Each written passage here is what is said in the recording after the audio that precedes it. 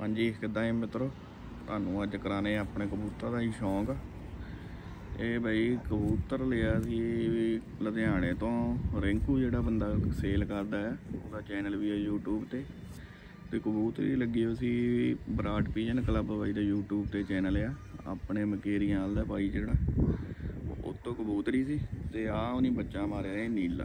ਤੇ ਪਹਿਲਾਂ ਮਾਰਿਆ ਇਹ ਕਾਲਾ ਮਖਿਆਲਾ।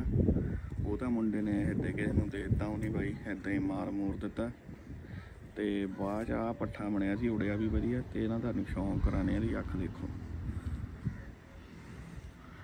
ਕਿੰਨੀ ਸੋਹਣੀ ਅੱਖ ਹੈ। ਤੇ ਇੱਧਰੋਂ ਵੀ ਦੇਖੋ। ਤੇ ਇਹਦੇ ਫਰ ਵੀ ਬਹੁਤ ਵਧੀਆ ਹੈ, ਉੜਦਾ ਵਧੀਆ ਸੀ ਦੇਖੋ ਪੱਲਾ ਇਹਦਾ।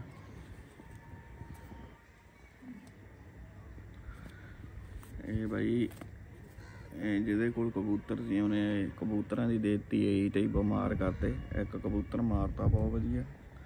ਉਹ ਵੀ ਬਾਈ ਬਰਾਟ ਵੀ ਨੇ ਕਲੱਬ ਤੋਂ ਵੀ ਬਾਕੀ ਕੱਲ ਚੱਕ ਲਿਆਂ ਦੇ ਬਿਮਾਰ ਆ, ਸੁੱਕੇ ਪਏ ਆ, ਉਹਨਾਂ ਦਾ ਵੀ ਤੁਹਾਨੂੰ ਦਿਖਾ ਲਾਂਗੇ ਕਿੱਦਾਂ ਦੇ ਆ।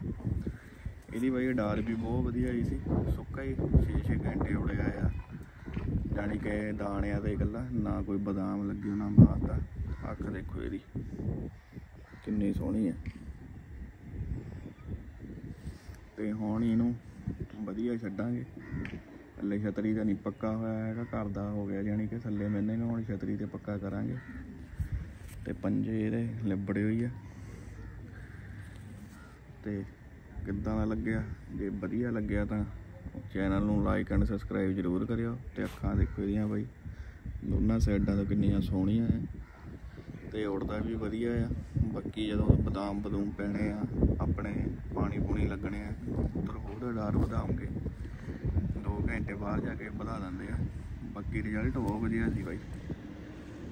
ਵਧੀਆ ਲੱਗੇ ਤਾਂ ਸਪੋਰਟ ਕਰਿਓ ਚੈਨਲ ਨੂੰ। ਧੰਨਵਾਦ।